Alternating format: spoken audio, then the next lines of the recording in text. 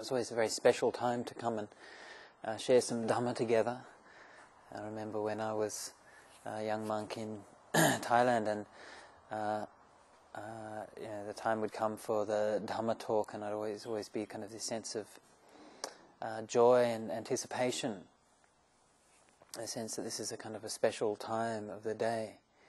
And uh, in the kind of the evening when the the uh, the day's events are over. Uh, we don't have any uh, expectations and so on, and uh, we're settling into the uh, into the night time. And night time is very, uh, of course, very it's very good time for dhamma practice. It's always my favourite time of the day is that just that disappearance of the sun, the settling down of the day and that sort of transition into the, the cool of the evening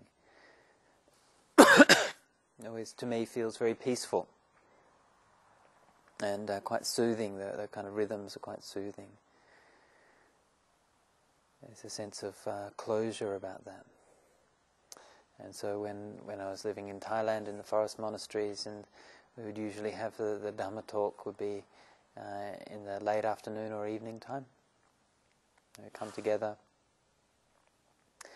very much like we do here, uh, and very uh, just in a peaceful, simple environment, and uh, just sitting there quietly sharing the Dhamma together. And uh, there's something about that. Um, there's something about it, like a sense of communion that comes from uh, hearing the Dhamma in a group. and uh, for me, this is a very different kind of experience than I get from, say, reading the Dhamma. Reading is a very individual experience. And uh, uh, for me, uh, reading Dhamma always is, is more of a kind of an intellectual thing. So I read Dhamma books to find out information about the Dhamma or Buddhism or the Buddhist scriptures or something like that. Whereas listening to Dhamma is much more of a feeling thing. It's not so much about learning uh, a, bunch, a bunch of facts, but it's more about coming into a space where uh, something mysterious or intangible can happen. And uh, so, this is one of the reasons why we don't just you know, give a, a, a talk in a in a a, a, very um, sort of ugly or, or uh, secular kind of environment. And I often notice this when I go teaching Dhamma in places like Singapore, Malaysia, and so on, that uh, you know they don't seem to have, for some reason, they don't have much sensitivity to that. I often went, you know, my memories of being in the forest forest monasteries in Thailand. You know, it's always kind of very low light and candle light, and you're in the forest, and it's, you know, it's a, it's a very kind of evocative, a very kind of romantic setting. And but then when I go to a lot of the, the Buddhist centers in uh, Malaysia and Singapore and Taiwan and places like that, and then there's always kind of big fluorescent lights and everything's you know, everything's kind of artificial and plastic and uh, and all of these kinds of things, and it, it's very difficult to to get the same spirit, the same feeling going. So we do what we can, and so this is why we have we try to put up a bit of a shrine. It's why we try to do a bit of chanting together. It's why we do some meditation together. All of this is part of the whole experience, because it's not just about uh, learning the content. If you want to learn the content of Buddhism these days, it's very easy. You can just go to the web and find whatever you want. And anybody can learn uh, the facts about Buddhism. but Dhamma isn't something that happens through facts. Dhamma is something that happens um, uh, kind of like in between things.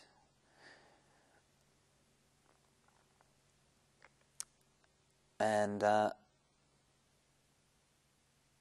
there's this kind of interesting quality of the Dhamma that the, the Buddha said. Uh, the Buddha said something like, um, uh, "I don't, I don't conflict with the world. The world might conflict with me, but I don't conflict with the world." Yeah, and uh, so this has that has a very beautiful meaning, a very kind of profound meaning. When we're following the way of the Dhamma, actually that, that Dhamma itself doesn't doesn't contradict or doesn't conflict with anything. Okay? How we interpret it maybe does, or how, how we bump up against uh, various structures in the world. It reminds me of, there's a saying by Niels Bohr, the great physicist. He said that a, um, the opposite of a um, trivial truth is a falsehood, but the opposite of a profound truth is another profound truth. Yeah? So I think that's a very beautiful saying, and very much is, is what the nature of the Dhamma is as well. Because when, it, when we, we can say something in the Dhamma, and uh, very often the opposite of that thing might also be just as true from a different perspective. So, you know, when we come here in this kind of um, group, there's something very special about it, and something that I always always kind of reflect on. Um, that uh, uh, you know how rare it is to find people, human beings these days who not just these days, I think at any time who could have gathered together and associate with this kind of very pure uh, intention and just the intention to listen to Dhamma to purify their minds. And sometimes we get uh, frustrated, we get disappointed, we think that our meditation should be better than it is. And it's actually, I don't know if you've ever felt this, but it's actually quite a, a, a, a challenging question if somebody asks you, you know, how's your meditation? Right? And, and almost everybody goes, well, you know, oh, not very good, or, you know, blah, blah, blah. And it's quite, there's very few people that you meet that you ask, "How's your meditation?" They say, "Fantastic! Yeah, wow." Yeah, it's actually kind of uh, uh, it's a it's a great struggle, and so you know when we understand this, it can um, it's it's quite um, it's easy to be down in ourselves because of that. I remember one story when. Uh, there was some some of the monks were newly ordained. There was one English monk who's now one of the senior ajahns in Amaravati, and and uh, when he was just newly ordained, Ajahn, it was at Ajahn Chah's monastery, and Ajahn Chah, of course, is a very powerful teacher. And Ajahn, he just sort of got up, and sometimes he would do this kind of thing where he would get up from his seat at the head of the line of the monks, and he would just slowly walk down the line, sort of pacing very slowly past each one as they were sitting there.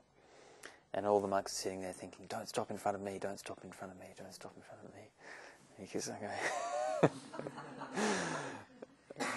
and everyone's, everyone's, getting a bit nervous. And then he stopped in front of this newly ordained English monk, and he's sitting there thinking, "Oh God, what's going to happen now?" And he just, he, Ajahn Chah just said to him, "Have you ever known a single moment's peace in your entire life?"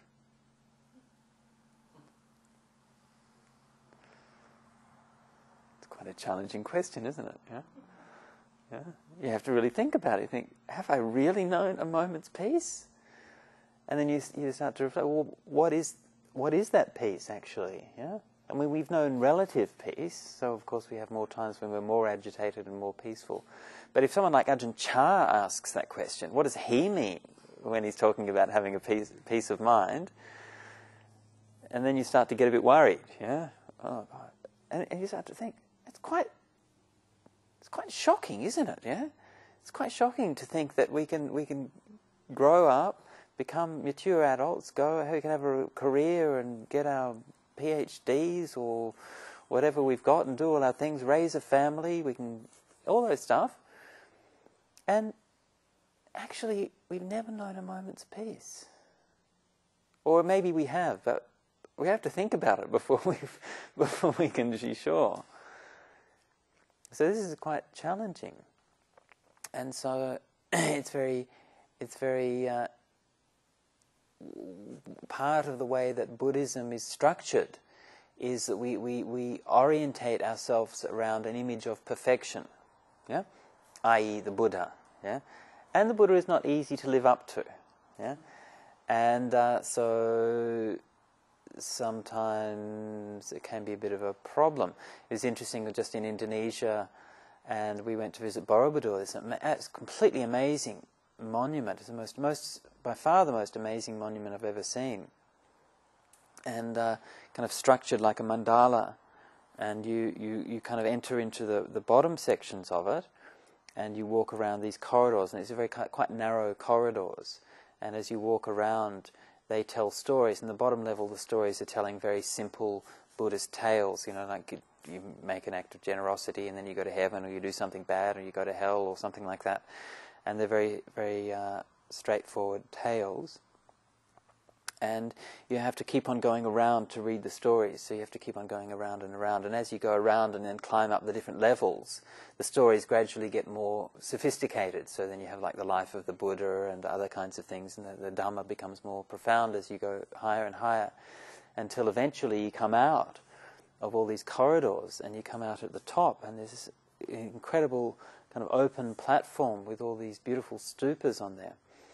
And uh, instead of having all the, the, the, like human iconography, you, you have uh, much more kind of abstract forms, yeah? And so it's kind of representing the, the, plane of enlightenment or a high level of realization. And so you actually uh, it's quite stunning, you know, because you actually experience that whole kind of that feeling for the whole Buddhist path just through just through walking around that place. And uh,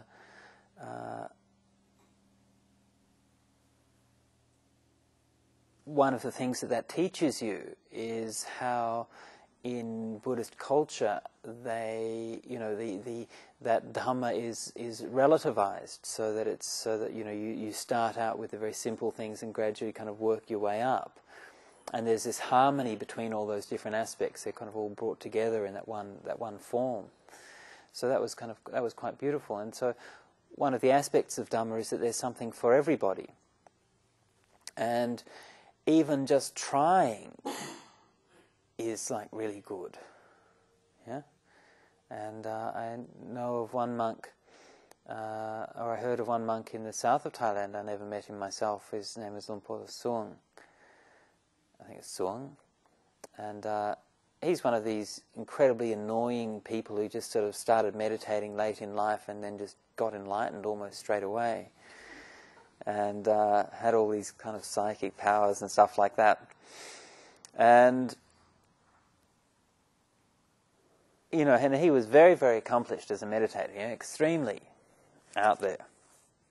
And uh, and he, but he would say. Uh, so I heard that he would say that that uh, you know he himself had this tremendous respect for anybody who even just sat down and tried to meditate, even regardless of what your meditation's actually like. Yeah, but just the act of sitting down there and thinking, right, I'm going to meditate. Yeah, even that is like extremely wholesome karma because you have that intention to purify your mind, you have the intention to let go, the intention to realize nibbana, and that intention is very, very powerful. So sometimes, if we're reluctant to meditate, you know, we we we we have these very high standards, you know, and uh, this is one of the problems. Sometimes, if we've been on a meditation retreat, we go on retreat, we practice really intensively for a while, and then we have quite, you know, quite clear states of mind and then we come off retreat and we get, you know, mind goes back to its ordinary old rubbish, and it's you kind of get very dis- disappointed by that, yeah, disillusioned, and so it's hard to keep going. But you have to keep on reminding yourself of this, even that intention, yeah. So just you know, even if you think to yourself, "I'll just meditate for one minute," that's all right. Still good. One minute is still good. You can sit down and meditate, and then sometimes you might think, "I'll meditate for one minute," but then well, actually, you, you missed the clock and you actually meditated for a minute and a half instead, you know. So that's good. Even one mindful breath is good. Yeah? Even, even just one moment where we're actually coming back into our mindfulness and coming back into our body and getting contact with reality. Even that much is good. Yeah? And we can do that. We can do that right now. Yeah, we're all sitting here together, sharing the Dhamma together.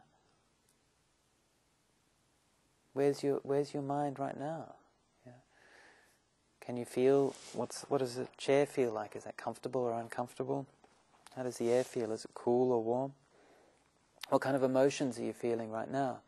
Are you feeling um, bored or excited or uh, angry or whatever? And somehow we can get in touch with those, even as we're. Sometimes we can, sometimes we can label it. Sometimes we know what it is. Sometimes we can't. But but you can know that as well. You can know confusion or unknowing, yeah, or ambiguity. You can know that as well. And this is what the Buddha was pointing to when he talked about mindfulness, and especially the quality of sampajanya, of what you call clear comprehension. And clear comprehension is like an all-round knowing. Okay. I mentioned before in the introduction to the talk, mindfulness has a meaning of of like recollection in the sense of recollecting oneself. Yeah, so you're bringing yourself together and sustaining your, your awareness, bringing it back onto your meditation object and keeping it there. Whereas Sampajanya has a sense of understanding what the context is, understanding what the environment is, okay, and knowing what you're doing. And uh, for me, the the answer, the the distinction between those two was brought out for me very clearly and in a very impressive way uh, straight after my first ever retreat, and I did my retreat in Wat Ram Poeng in, in, in Chiang Mai. And uh, after I did the retreat, there was a little bit of work in the monastery. They were demolishing one of the huts, it's a wooden hut, and they asked us to help move some of the wood from the building site. And so I went to give a hand. And uh, of course, being in Thailand, we were just wearing thongs. And uh, I remember thinking to myself, I was just about to step on the building site. I've just finished my retreat, 26 day retreat or 27 day or something, really intensive retreat, had really good meditation, was feeling amazing, really bright and clear and really strong. And, you know, I've never, and, and now I was trying to reintegrate this. Now I was trying to bring that back and say, okay, I can do stuff with this sense of awareness. So this was my first attempt. And right, I'm just about to step into the building site and I'm reminding myself, be mindful, okay? Absolutely, be mindful. And so there's my my foot's going up, over, into the building site, and onto a nail. Straight away. First step. I knew it. I knew my foot was coming up, it's going along, onto the nail. Absolutely. Mindfulness was 100%.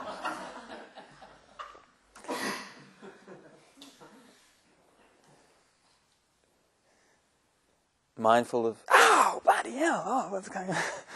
And uh, so, so this is the difference between mindfulness, what we call in Pali we call sati, and what we call in Pali sampajanya is clear comprehension. It's like this kind of all-round knowing because I didn't have that, or I didn't understand what I was doing. I didn't have an idea of the context. My, my, my awareness was too narrow.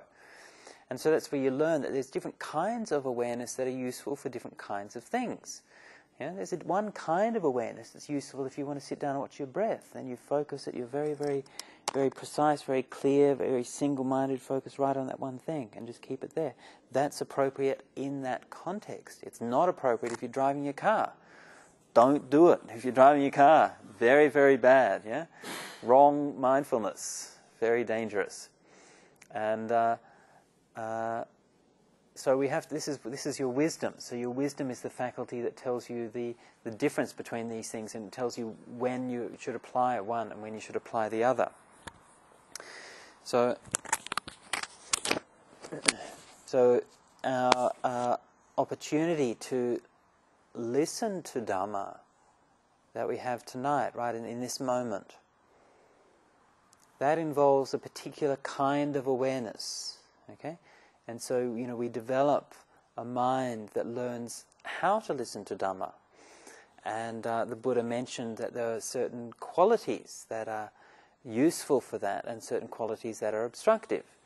And some of the qualities that are useful for that, of course, is uh, having a mind which is peaceful, having a mind which is not uh, drowsy or sleepy, having a mind which uh, is uh, focusing and paying attention to what is said.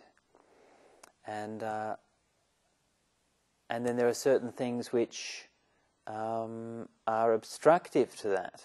And one of the things, one of the things it mentions that's obstructive is having what is Buddha calls uparambha chitta, yeah, randhagavesi, where it means a fault-finding mind, yeah. So if you're listening to Dhamma with a very negative mind, yeah, very cynical and fault-finding, then you'll never have the joy to be able to really understand it on a deep level. Okay. So that doesn't mean that you just listen to it with just kind of blindly and just sort of accepting everything that's being said. But there's a difference between having a sense of discernment, yeah, which knows what's right and wrong, and having a fault-finding mind, which is just really negative and always trying to find what's wrong, yeah. And uh, that attitude is always expressed very well in the in the Buddhist suttas when it talks about these things, and it has this very lovely phrase. For example, if if uh, say somebody goes and listens, say maybe one of the monks might go and, and, and go to the, the, the Jain ascetics or something like that and they hear them having a discussion. And uh, they hear what they have to say, and then it has this phrase, neither accepting nor rejecting. Yeah? So neither accepting nor rejecting what they say. They think, oh, maybe I need to ask the Buddha about this. I, I don't understand what this is being said. Neither accepting nor rejecting, but I'll go to the Buddha and ask him. Uh, and uh, so that's a very beautiful state of mind to be in, yeah? That state of poise, neither accepting nor rejecting. And uh, it's, in the, it's from that state of mind that real wisdom is going to come. Yeah? Neither the mind that just blindly accepts everything that's being said, nor the mind that's being cynical and negative and rejecting what's being said, but the mind that's poised and open. Yeah? And which listens with a sense of a sense of interest and a sense of see, it's more it's more important to care about it than it than it is to um, uh, agree or disagree or have a particular idea or something. Yeah? When we're listening to Dhamma, the most important thing is that we care about it. Yeah? It's, it's, it's meaningful for us. If it's something which is meaningful for us, then it will have that kind of impact. It will have uh, it will have an effect. We can have all the right opinions that we like, yeah, and that's in and of itself that's good, but it doesn't get us very far if it's not uh, if it doesn't have a sense of urgency about it. And this is one of the problems sometimes with uh, traditional Buddhist education and uh, in, in, traditional Buddhist cultures where you're, you're teaching Buddhist courses in universities and things like that. And, you know, it just becomes like another subject. You just learn it so that you can master the facts and get your exam. Yeah. And so I saw in the, in the news some time ago there was this um, uh, someone was complaining that because in one of the Thai monks was writing an article complaining because all the monks were cheating in their Dhamma exams in Thailand. Yeah? and this is kind of kind of funny on a number of different levels. Not only is you know the idea that the monks are just cheating for the Dhamma exams is inherently a bit kind of silly, but one of the other things that they, they said that, that, that also was a problem was that the, the, the monks who were the teachers were helping their students to cheat. Okay, and sometimes they'd even like write the answers on the board. Yeah. so that all their students would pass, so that you, they'd have everyone would think, oh, they're doing very well, and no one cared about it. Yeah. And so this is really kind of that sign of the decadence of that educational system. And the worst thing about it is, right, really the worst thing about it is it doesn't matter anyway. You know? That's the worst thing about it. If you're a doctor and you don't study for your exams and you, you cheat in your exams, well, you've got a patient in front of you. They're going to die. Yeah?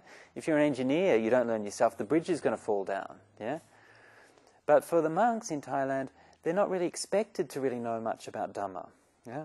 They, they, they go and you do the rituals and you know you do do what you're doing, but but actually having a vocation to have a meaningful and profound understanding of Dhamma is not is not a part of that. It's not a part of what it means to be a monk. So it's very much just a matter of getting the uh, exams done, and uh, so that you you can uh, have the various qualifications or titles or something like that.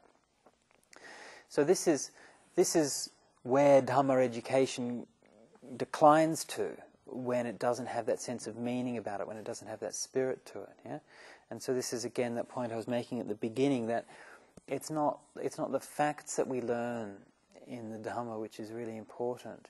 It's the meaning of it. It's whether we care about it. It's whether we have that spirit about it. Yeah, this is a really important thing. And of course, the Buddha said in the, in the Dhammapada that you know it's better to have rather than a thousand useless words that don't mean anything. It's better to have that one word of Dhamma, hearing which it brings peace to the heart. Yeah. So this is that's that's the real Dhamma. That's the real essence of the Dhamma. Just that one word that brings peace to your heart.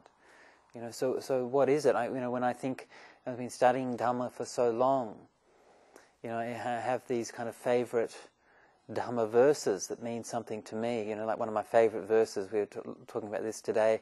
My favorite verses in the Dhammapada says. Um,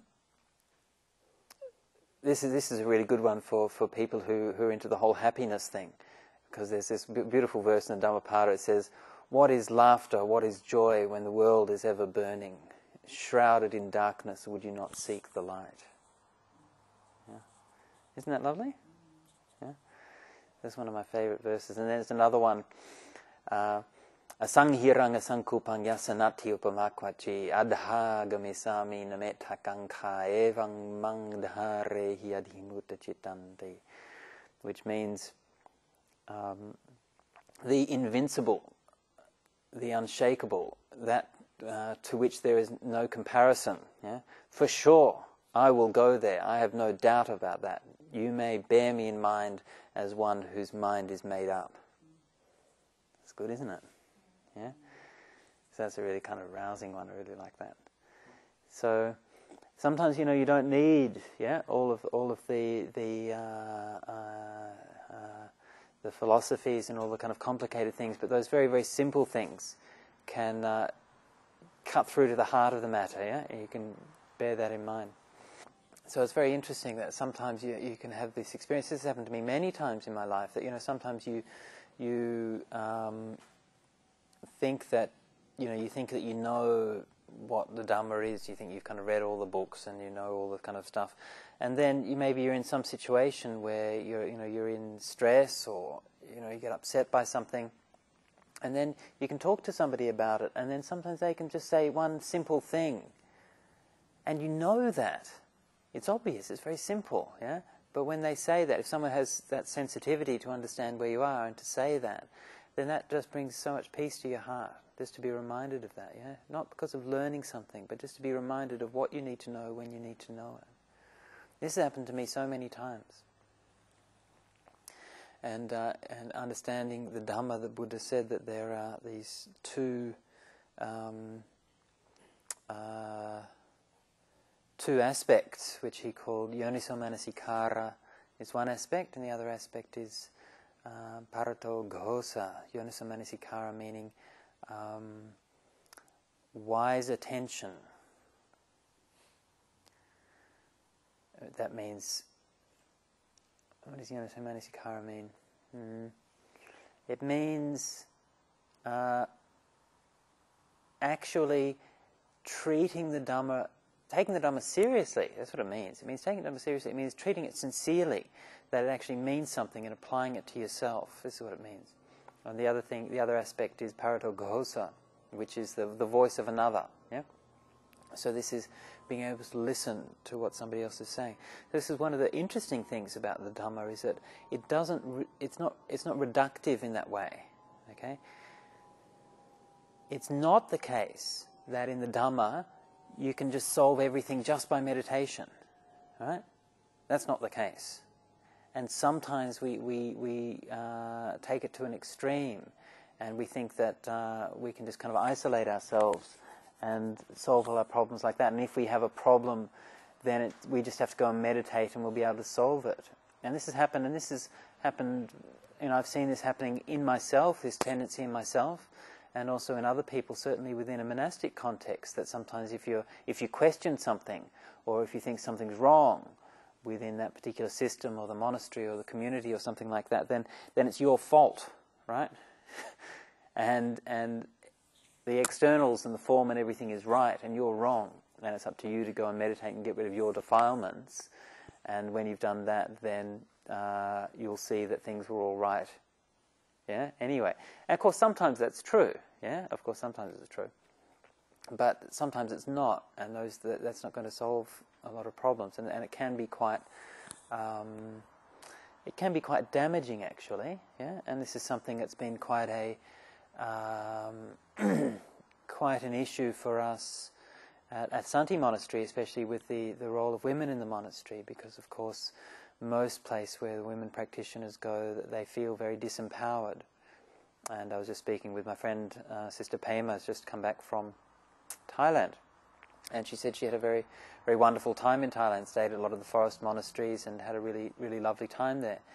Uh, and, uh, but of course, you know, in the forest monastery, because she's a Tibetan nun, right? So you're, you're, you know, you're like, you know, from the planet Zog, right? You're kind of descended completely, you're an Australian Tibetan, you're completely alien, kind of in this kind of alien world.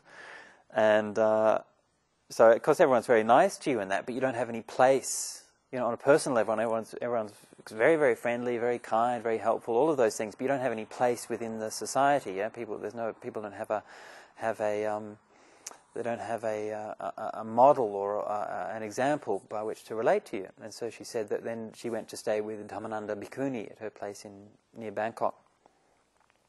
And she just felt how really nice that was because it was a very engaging community, and, and Dhammananda is quite um, strong on engaged Buddhism and bringing the community together. So there was, you know, a feeling of participation. And she just made this, this kind of interesting remark that, you know, you can't feel like a, a zero forever. Yeah? You can't just feel like you're, you're nothing. You, you just can't keep on doing that. You know, there has to be, at a certain time, there has to be a feeling of relationship, a feeling of belonging, a feeling like being a part of something, yeah? And so this is, uh, you know, it's kind of interesting to notice that, yeah? So this is one of the things we try to build in a monastic community, a feeling of um, family. We're all here together to argue with each other, and it's all right, you know, and uh, uh, and our practice kind of depends on each other, and, and it's quite amazing because that, that kind of that idea of interdependence, interrelationship is actually very, very. Um, you know, it's so it's so kind of real in a in a, in a uh, the more the more um, the more you look into it, the further down you go into it, you, the more you realize this this is actually how the world is constructed, right from uh, a quantum level on up. You know, even in, in quantum mechanics, you know, you can't sort of isolate a particular particle or something like that and say that that exists in a sense by itself. It only exists in relationship. And uh, and the same thing with us as human beings. We can only exi- we can only meditate because we've heard the word meditation. Yeah. This is kind of what I was trying to suggest earlier when doing the introduction to the, to the guided meditation. That the words we hear when we're talking about meditation, they, they condition what we actually do. Yeah? We, we think we're, we're doing meditation, we're sitting down, we're trying to do something. And we can only do that because we've got an example. We've got a, a, a, a, physical example. We've seen people meditating, yeah? We know that's what you're supposed to look like when you meditate, yeah? So you can mimic, yeah, you can imitate somebody's example. And then you've got an idea. It's supposed to be about peace of mind and all of these kinds of things. And so you can you can try to to experiment.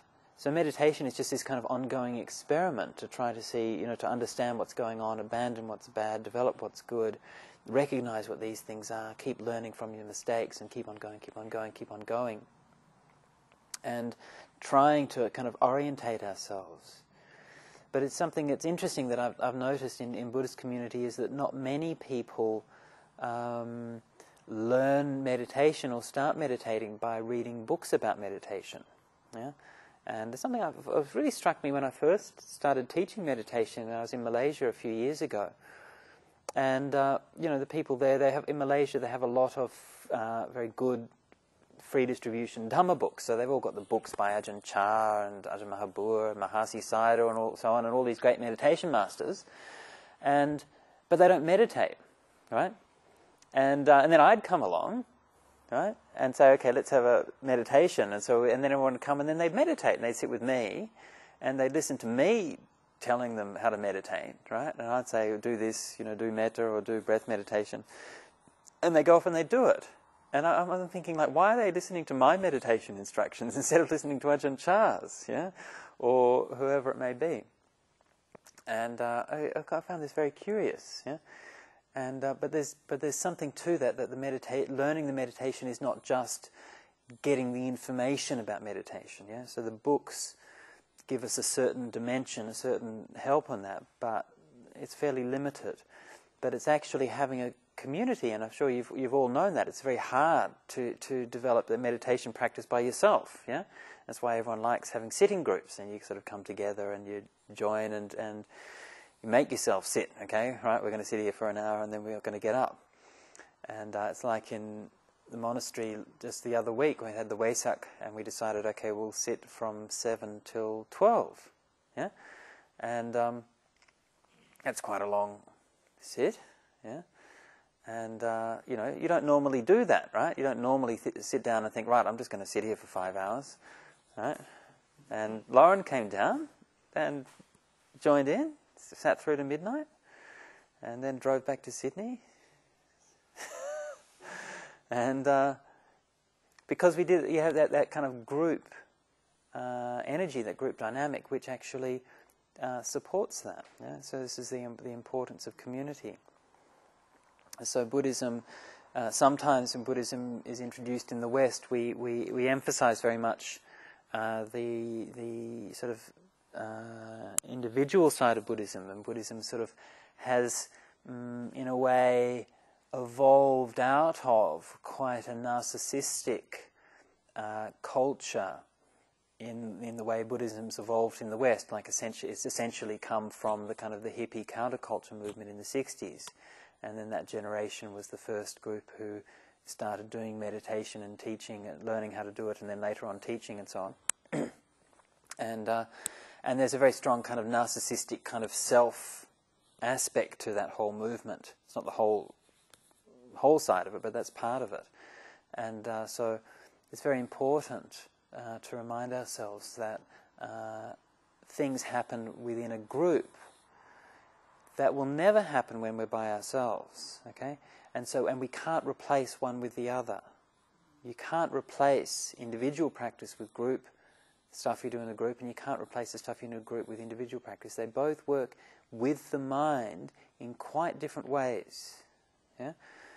And you can see that, you can know that, that, that people can, you know, this is very, very clear that people can meditate, for example, for many years and become very, very good meditators, yeah, and still have like blind spots or, or conditioning uh, regarding, say, cultural things or, you know, uh, preferences or whatever ways of being with people uh, that still won't change no matter how much they might meditate. And so there's certain kinds of things that can never be solved with meditation. That's why the Eightfold Path has eight factors. Yeah? It doesn't just have one factor. If meditation was going to solve everything, we'd say the one fact, the one-fold path is meditation, but the Buddha didn't teach the one-fold path, the eightfold path. And right speech is part of that. Okay, so this is what we're practicing here. We're practicing right speech, and uh, of course, I'm I'm here. I'm here to teach the Dhamma, right? So I'm doing half of right speech, which is the, the talking half. The other half is the listening half. Yeah? So that's also part of right speech as well. So this is what you guys are practicing.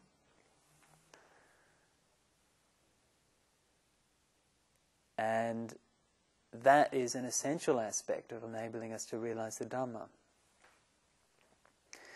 So,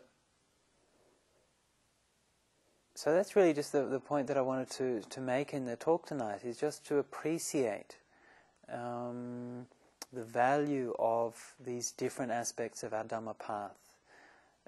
Yes, meditation is vital and very important, but also, yes, uh, listening to Dhamma, reading Dhamma books, all of these kinds of things are also just as important. Learning how to relate to people and be with people in a, in a, in a Dhammic way, with the sense of openness and clarity and compassion. This is also very important. And uh, we can't, we need to use, it's our discernment, it's our wisdom which knows what's appropriate in a particular context. Yeah? How do we use it? We know, we know we should be mindful, but how do we be mindful? How do we apply mindfulness in this particular context? That's how our wisdom which tells us this.